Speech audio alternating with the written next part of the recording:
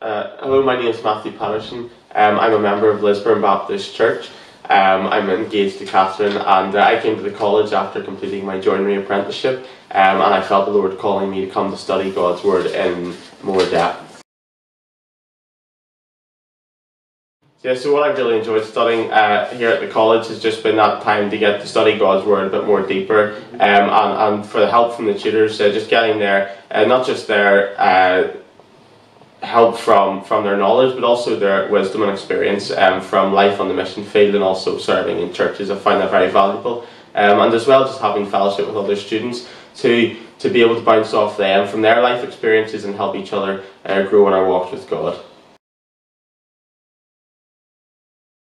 So what's next for me? Um, I'm not completely sure yet. Um, so I'm just waiting to see where the Lord leads. Uh, but whatever lies ahead, I'm just glad that I can now use uh, the skills that I've learned here at the college uh, to go and serve His church uh, more fully in the future.